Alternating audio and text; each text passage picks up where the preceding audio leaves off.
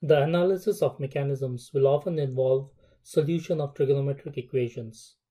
Therefore, in this module, we will go over the basics of solution of trigonometric equations. Let us first look at a couple of examples. Suppose we are given sine theta is equal to half and cos theta equals to square root of 3 by 2. We have to compute all values of the angle theta where theta is between 0 and 2 pi. Let us now look at one common way to solve the problem which is actually a wrong solution. What you may do is note that tan theta equal to sine theta by cos theta, which gives 1 by square root of 3 if you substitute sine theta equal to half and cos theta equal to root 3 by 2. Therefore, theta will be arctan of 1 by square root of 3, which will give you the solution pi by 6 if you use a calculator. And then you know that tan is also positive in the third quadrant, so some of you may also give the solution of 7 pi by 6. However, in this case, only the solution pi by 6 is correct. The other solution is wrong. Now let us look at another problem which is very similar. Now I have given sine theta as minus half and cos theta as minus root 3 by 2. Again, if I follow the previous procedure, I get tan theta equals to 1 by square root of 3, which is the same as before. Now here you can again put it in your calculator and get theta equal to pi by 6. And you may again say that since tan is also positive in the third quadrant, another solution that I get is theta is 7 pi by 6. However, here the solution pi by 6 is wrong. The solution 7 pi by 6 is correct. So one has to be careful when solving these very simplistic liquid equations. The correct way to do it is use what is known as the function atan2, which is a way of performing arctan or tan inverse that is sensitive to the quadrant in which the point can lie. So let's look at a general problem. We want to compute the values of the angle theta such that tan theta equals to y by x and theta lies between 0 and 2 pi. Now atan2 y comma x is defined as simply arctan of y by x if both x and y are positive. So what you have to do is look where this point x comma y lies. So let us create these four quadrants. This is x positive, y positive, q1, q2, q3 and q4. So if the point x comma y lies in the first quadrant, that is x is positive and y is non-negative or y is positive, then you just do arctan of y by x. That's your answer. If x is positive and y is negative, that is you are in the quadrant q4, then you have to add 2 pi to arctan y by x. If x is negative, that is you are in the quadrant q2 or quadrant q3, you have to add pi to arctan y by x. If x is 0 and y is positive, so a point on the positive y-axis, then the angle is pi by 2. And if x is 0 and y is negative, the angle is minus pi by 2. The tan 2 function is undefined if x and y are both 0. If you are programming, then the tan 2 function may be available to you depending on the programming language that you are using. And in most common programming languages, it is available. So if you use MATLAB or Python or C, C++, it will be available to you. So you should not use the arctan function, but you should always use the atan2 function. If you're using a calculator, use your calculator, see what is the arctan that it gives or the tangent inverse that it gives. And then based on where the point x comma y lies, you can use these rules to actually find out what should be that angle. Now we will move on to the solution of two types of trigonometric equations and these equations occur quite frequently in mechanism analysis. As we will see soon, to solve problem 2, you will need to solve problem 1. So we will look at a technique for solving problem 1 first. Throughout the course of the next couple of lectures, you will see how problem 2 and problem 1 arises in the context of analyzing mechanisms. However, here I will just solve these two problems independently without the context of mechanism analysis. So let's look at the equation p sine theta plus q cos theta plus r equal to 0. Here p, q and r are known constants. So they are some numbers 2, 5, 7, whatever it is, some number. And theta is my unknown variable. To solve this problem, what we have to first do is express the sine theta and cos theta in terms of half angles of tan and convert the trigonometric equation into a polynomial equation.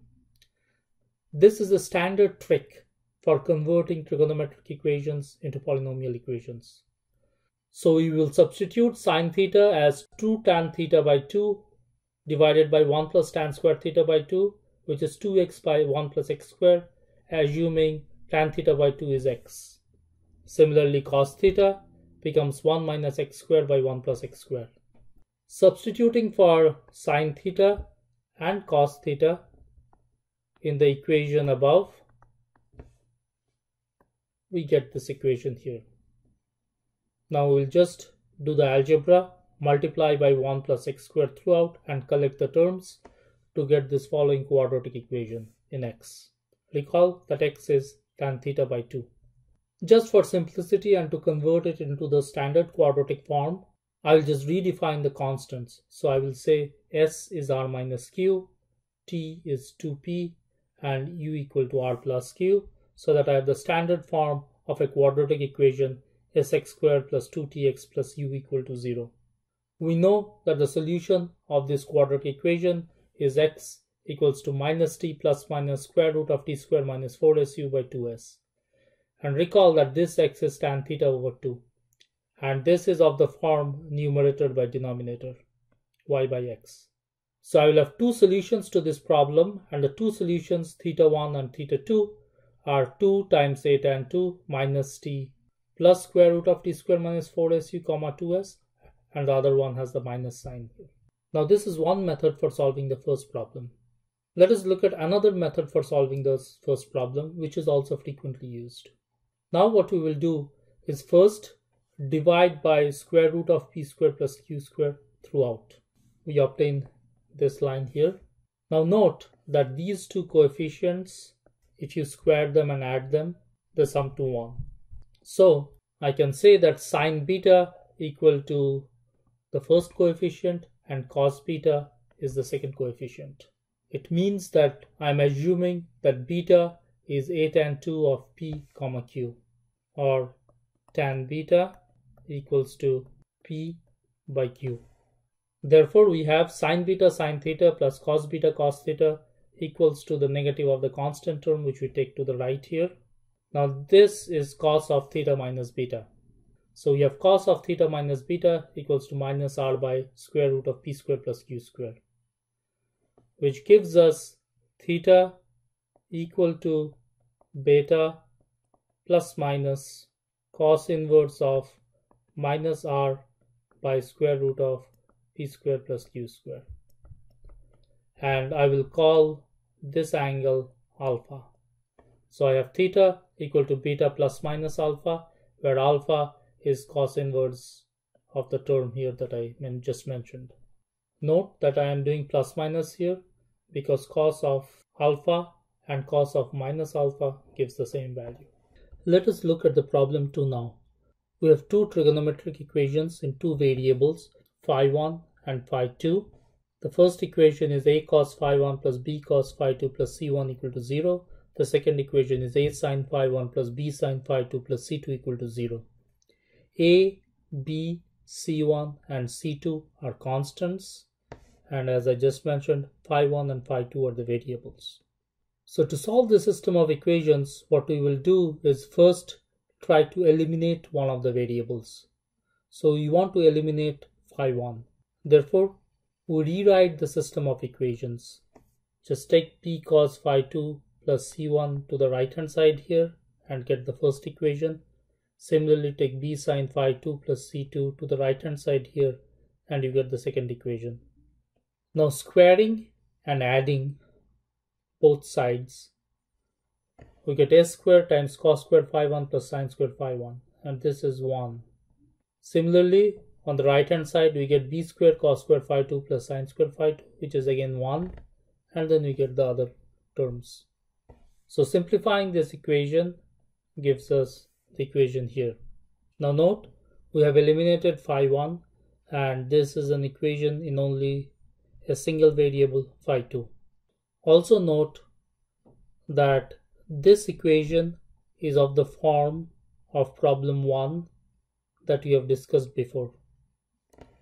We have some known constant p times sine phi 2 plus q times cos phi 2 plus r equals to 0.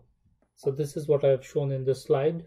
Since the above equation is of this form, p sine phi 2 plus q cos phi 2 plus r equal to 0, we can solve this by using any one of the two methods from problem 1. So in general, there are two solutions for phi 2. After solving for phi 2, how do we obtain phi 1? Recall that we had a cos phi 1 equals to minus b cos phi 2 minus c1 and a sine phi 1 equal to minus b sine phi 2 minus c2. So from here, we can easily see that we can do tan phi 1 equals to sine phi 1 by cos phi 1 equals to minus b sine phi 2 minus c2 by minus b cos phi 2 minus c1. So from here, we can get the solution using the atan2 function. Since there are two solutions for phi 2, there will be two solutions for phi 1. For each solution of phi 2, there will be a corresponding phi 1.